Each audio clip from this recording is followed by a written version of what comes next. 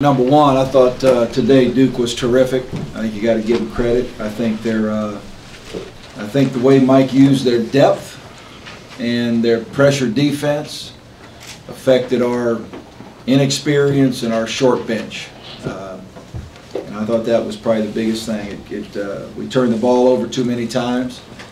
Um, We've got to obviously be a lot stronger with the basketball, and they took turnovers and turned them into baskets, which was the biggest difference in the game, so.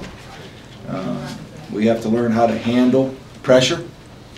And, uh, you know, obviously with us right now, we got eight scholarship guys. I thought they, you know, they smelled blood in the water. They, they went after it. And so uh, they did a nice job of, you know, keeping the heat on us all day.